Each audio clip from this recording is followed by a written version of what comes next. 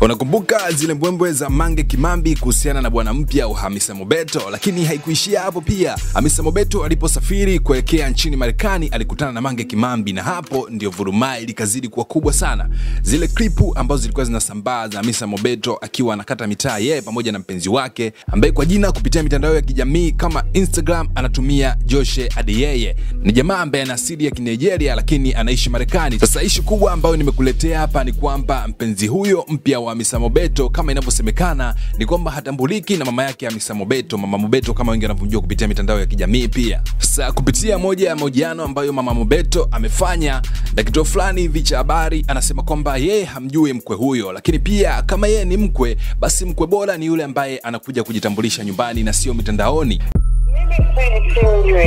Sijamwona ni yule ambaye anafika nyumbani anasapoti. Mimi si simjui sijamwona ni yule ambaye anafika nyumbani Imagine kiki zote zile zilikuwa ni kwa sababu ya nyimbo mpya ya Hamisa Mobeto. Nauliza tu, lakini pia imagine kama kweli yule si mpenzi wa Hamisa Mobeto, nini ambacho kitaendelea? Je, yeah. mashabiki wa muziki pamoja na watu wengine watamchukuliaje Hamisa Mobeto?